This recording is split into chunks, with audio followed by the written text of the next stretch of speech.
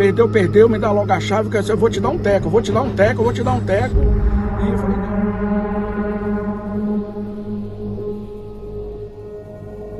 Equipe de Rotan, durante um patrulhamento pelo setor Fumal, na cidade de Lusiânia, visualizaram uma caminhonete Fiat Toro ocupada por três elementos. Os mesmos, ao avistarem a barca de Rotan, circuitaram e empreenderam fuga, desobedecendo a ordem de parada, entrando em uma estrada vicinal onde perderam o controle.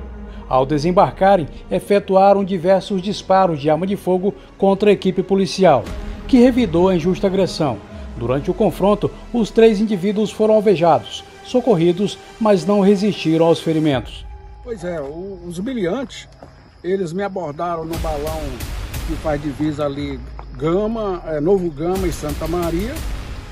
E mediante um, uma emboscada de um motoqueiro que bateu no meu carro e parou para poder é, ir falar comigo.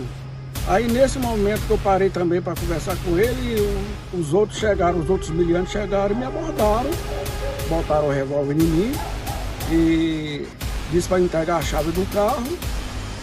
Mas não, não me agrediram nem nada não, só foram só alterados, né? Para eu entregar logo a chave, entreguei a chave para ele, eles foram embora.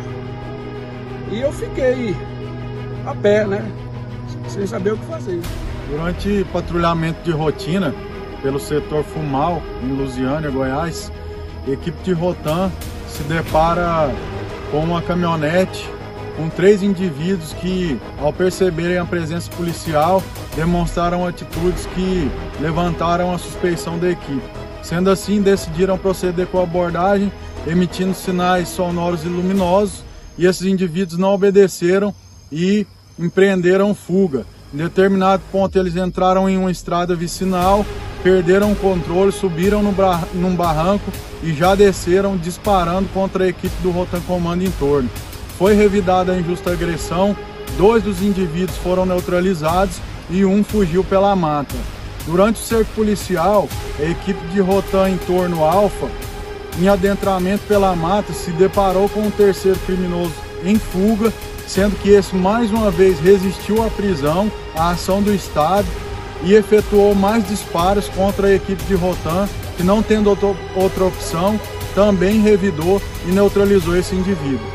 Com os três foram apreendidos uma pistola calibre 380, um revólver calibre 357 e um revólver calibre 38, além dessa Fiat Toro que acabara de ser roubada na cidade de Novo Gama e a vítima se tratava de um idoso.